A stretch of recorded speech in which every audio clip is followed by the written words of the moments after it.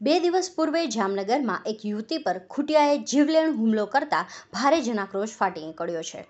શહેરના માર્ગો ઉપર રખડતા પશુઓની સમસ્યા દૂર કરવા કડક પગલાં લેવામાં આવે તેવી માંગ ઉઠી છે, જેને ધ્યાને લઈ હવે તંત્ર મોડે મોડેથી જાગ્યું છે.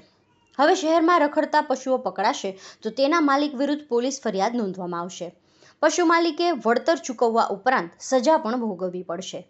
જો કે આ બધી ઘોષણાઓ ખરેખર અમલી બને, તો જ નાગરિકોને રાહત મળે એમ છે. ભૂતકાળમાં આવી જ ઘોષણાઓનો ફિયાસ્કો થતો જોવા મળ્યો છે. એટલે લોકોને તંત્રના દાવાઓ ઉપર નજીવો વિશ્વાસ છે.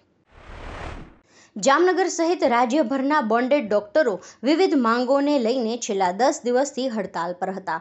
જામનગરમાં હડતાલી ડોક્ટરોના ક્વાર્ટર ખાલી કરાવાતા ડોક્ટરો અને સરકાર વચ્ચેનો સંઘર્ષ ચરમસીમાએ પહોંચ્યો હતો.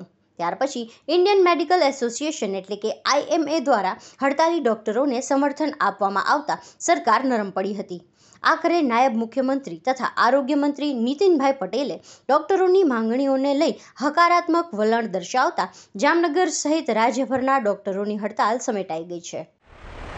જામનગરની જીજી હોસ્પિટલમાં કાર્યરત મ્યુકોરમાઇકોસિસ એટલે કે બ્લેક ફંગસ રોગનો અલાયદો વોર્ડ બંધ કરી દેવામાં આવ્યો છે.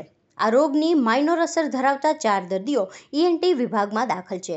કોરોનાના પણ હાલ દસથી ઓછા દર્દીઓ જ દાખલ છે. રાજ્યના ગૃહ મંત્રાલય દ્વારા રાજ્યના પોલીસ બેડામાં ઉત્કૃષ્ટ કામગીરી કરનાર છ પોલીસ અધિકારીઓની મેડલ માટે પસંદગી કરવામાં આવી છે. જામનગરના એએસપી નિતેશ પાંડેનો પણ આ યાદીમાં સમાવેશ થતાં તેમને પણ સન્માનિત કરવામાં આવશે. ઉલ્લેખનીય છે કે નિતેશ પાંડેએ ભૂમાફિયા જયેશ પટેલવાળા ગુજસીટોક પ્રકરણમાં પણ કડક કાર્યવાહી વડે ગુનેગારોમાં પોલીસની ધાક બેસાડી છે. નાર્કોટિક્સ કંટ્રોલ બ્યુરો એટલે કે એનસીબીએ અમદાવાદમાંથી વીસ કરોડનું કોકેઇન ડ્રગ્સ ઝડપી પાડ્યું છે. આ પ્રકરણમાં ડેરિક પિલ્લાઈ નામના પેડલરની એનસીબીએ ધરપકડ કરી છે.